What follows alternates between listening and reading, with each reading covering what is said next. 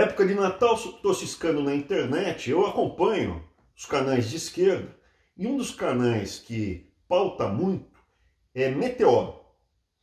Canalzinho ali que espalha muita daquela coisa cebosa, feia, que a esquerda mostra, pautada por hipocrisia, mentira, etc e tal. Uma das coisas que eles estão colocando aqui é o ato falho, mostrando o racismo e o preconceito que tem na sociedade brasileira. É verdade, tem racismo no Brasil, tem preconceito, mas o que eles não falam é que a esquerda é um dos locais mais preconceituosos e mais racistas que tem.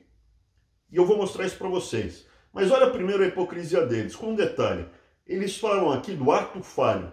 Ato falho, o que eles justificam, eu concordo, quando sai da sua boca, muitas vezes isso está dentro de você. Não foi um alienígena que deixou escapar.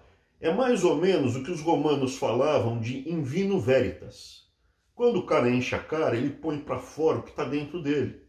Então, o cara bebeu e te xingou, brigou com, contigo, estava dentro dele aquele sentimento ruim. O cara bebeu e começou a soltar a franga, desmonhecar, ele estava com vontade de fazer isso. Não foi a bebida que falou, foi ele que falou. A bebida simplesmente diminuiu os filtros que as pessoas têm no convívio público. Vamos ver a matéria aqui. Eu passei até um pouco meio, um pouco rápido, tá? Que é meio chato, mas olha só.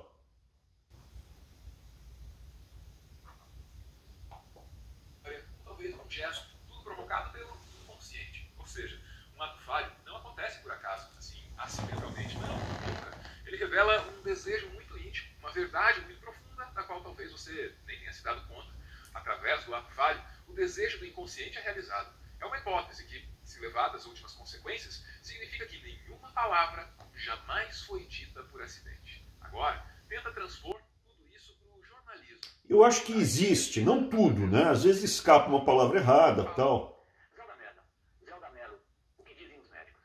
Aqui chamou a colega de merda, né?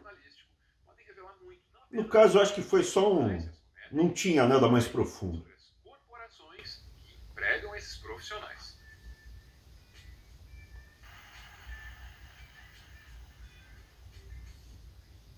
O ano era 2009, mas ele estava no fim, bem no fim.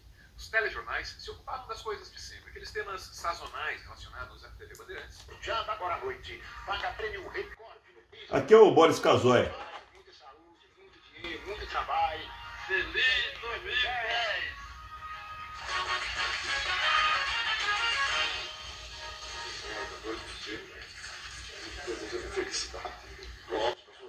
Ficou aberto o canal, o Boris Casoy falou.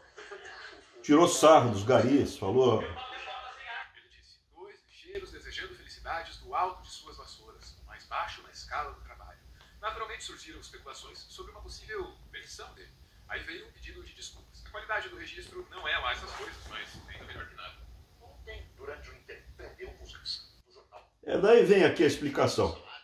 Ao diretor de jornalismo, meu amigo Fernando Banheiros, Antes de Boris soltar Aí ele elogiando, quando ele saiu do, a indenização de 60 da Bandeirante, só elogiou os ricos.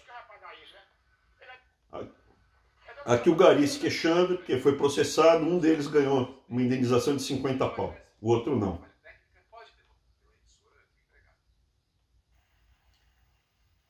O caso mais famoso, né, que o cara solta o que tem dentro dele, é o do William Vac. Esse é famoso, né?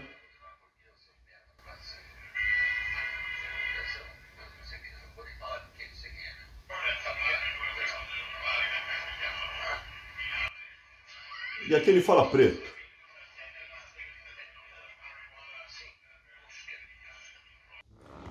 Ato falho. Eu já cometi um famoso e mostrou que tinha dentro de mim, pelo raciocínio aqui do grande meteoro. Mas durante um ano e oito meses eu fui investigado, processado, julgado. Está escrito inquisitorial e sigiloso. Que eu saiba, só a Gestapo fazia isso. Ou no livro do CAFTA ou a Gestapo. Processo você vai e tem acesso. Ou no livro do CAFTA ou a Gestapo. Eu falei kafta, que é um prato árabe que eu gosto. Será que eu não sei a diferença de kafta para Kafka, que é o escritor? Ou será que eu estava com fome e soltei né, o ato falho que está descrito no meteoro? Eu não espero nada da esquerda, mas cada um mostrou o que tem dentro. Eu sou comilão e a esquerda, a gente vai ver, é racista, é preconceituosa e é assassina. E não é ato falho, é escrito. Os heróis deles são assim. Então, voltando para a matéria do meteoro, sobre ato falho, que é quando você tem alguma coisa dentro de você e deixa escapar.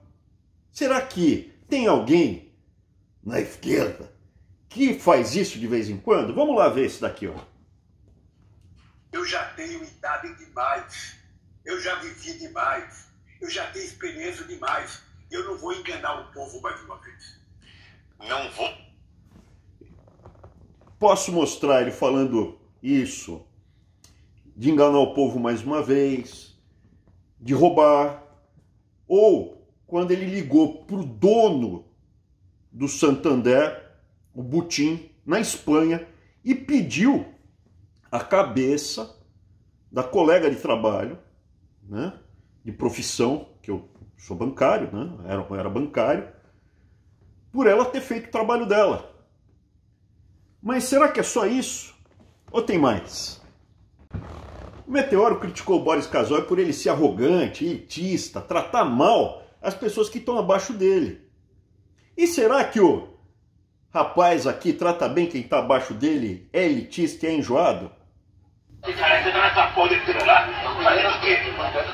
Ah, caralho. Olha no povo velho, pra essa cidade, pra sua passear. Quem conhece Lula de perto sabe que o Olha o cara simples aqui, ó. Tratando bem os empregados.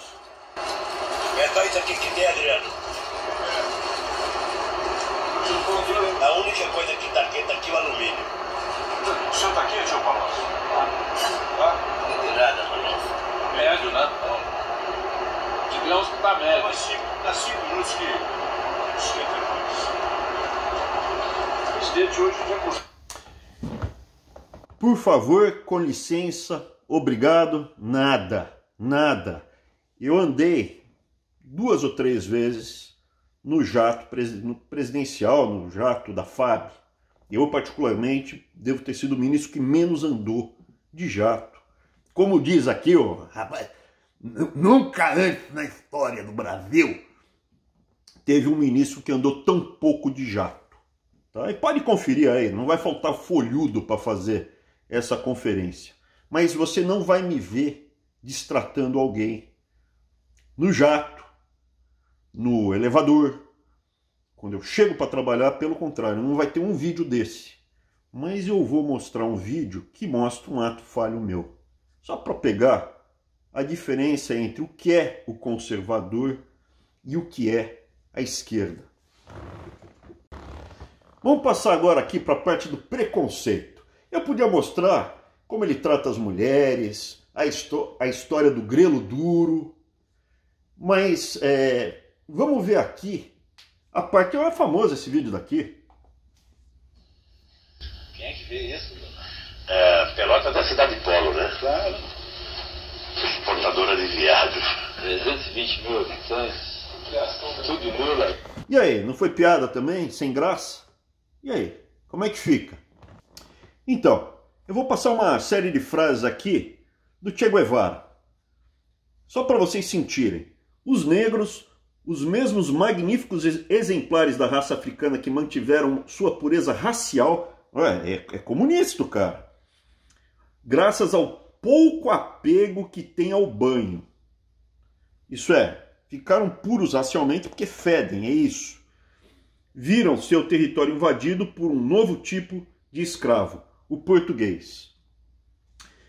Fiquei ao lado de fora com socorro, uma negrinha que eu tinha arranjado com 16 anos no lombo e mais do que uma galinha.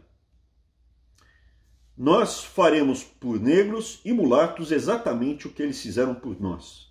Nada. Esse é o Che Guevara. O negro indolente, sonhador, gasta seu dinheiro em qualquer ninharia ou em bebida. O europeu tem uma tradição de trabalho e de economia que o persegue até o coração da América. e o impulsiona ao progresso. Dada a falta de condições de disciplina, seria impossível usar um congolês com rifles automáticos. É o tempo inteiro racista, racista, chamava as pessoas ao redor dele, que eram negras, de macaco. Esse é o Che Guevara, o porco, Chancho, que era o apelido dele. Outra, outro ato falho, mas escrito. Ele escreveu isso para o papai dele. Papai, tenho que te confessar. Nesse momento desco descobri que realmente gosto de matar. Esse é o herói da esquerda. E aí vai, né? Tem mais um monte de frases. Sabe qual o problema? O problema que não é só isso. Outro que era mega racista é o pai de toda brincadeira, o Karl Marx. Sendo que, comparado ao resto de nós, um crioulo é o que há de mais perto do reino animal. Karl Marx. O negro tem a força e o vigor para trabalhar pela natureza, a natureza que lhe outorgou a força, lhe negou a inteligência para governar e a vontade para o progresso. Então, assim, é isso. E é isso aí. Ato falho. Quem nunca cometeu um? Eu já.